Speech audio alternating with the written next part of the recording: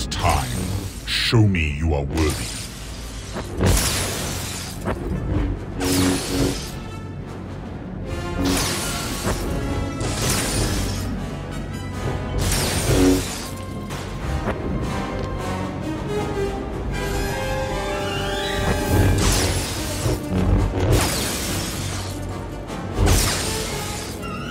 You